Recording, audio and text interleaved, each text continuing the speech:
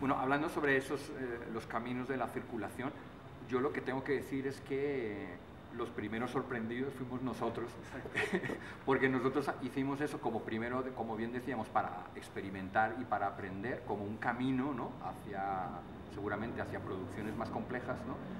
Y la sorpresa fue que nos seleccionaran en el Meatbo, que nos seleccionaran en Barcelona en el, en el Festival Alternativa o en el Festival Alcances de Cádiz, entre otros, pero esto es como más importantes, fue una gran sorpresa. Entonces dijimos, bueno, ¿será que no lo hacemos tan mal? ¿no? Eso, y eso te anima finalmente, ¿no? te anima a, que, a hacer que esas películas circulen y la verdad pues han circulado bastante y es como muy agradable los momentos en los que hemos podido acompañar la película, ese contacto con el público que, que también es como muy satisfactorio para cualquier realizador, ¿no?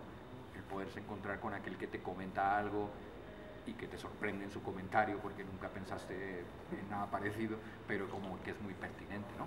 Ahora llegar a Retina Latina es también una oportunidad increíble, o sea, yo uno, ya uno piensa eso, se ve en toda Latinoamérica. Uh, a mí me da vértigo, ¿no? O sea, pensar que una persona de cualquier sitio con una conexión a internet puede acceder a nuestras obras que son muy modestas, que están hechas uh, honestamente, ¿no? como, como bien decías, ¿no? el que verdaderamente nosotros hemos, hemos metido mucha energía, mucho conocimiento, mucha pasión uh, para hacerlas, pues no sé, me parece como muy loco que nos vean en México, que nos vean en Ecuador, que nos vean en Perú, en Bolivia, y que ojalá nos, que ojalá nos pudieran escribir y, y tener un poco de feedback con, con ese público, ¿no? sería genial.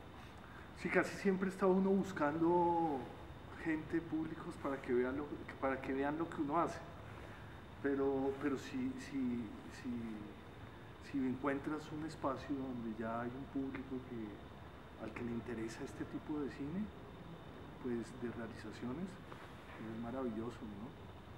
Eh, me parece que, que, es una gran oportunidad para, para este tipo de películas, que estos espacios existan y que, y que uno pueda ver cine latinoamericano también eh, novedoso, ¿no? con nuevas estéticas y nuevas formas de producirlo. ¿no?